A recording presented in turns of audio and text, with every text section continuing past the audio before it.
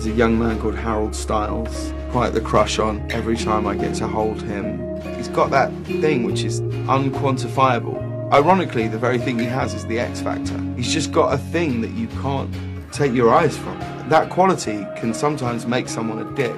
And with him, he is the same person that I met seven years ago, six years ago, than he is today. Uh, he is completely uh, adorable and together and, and wise and old before his time.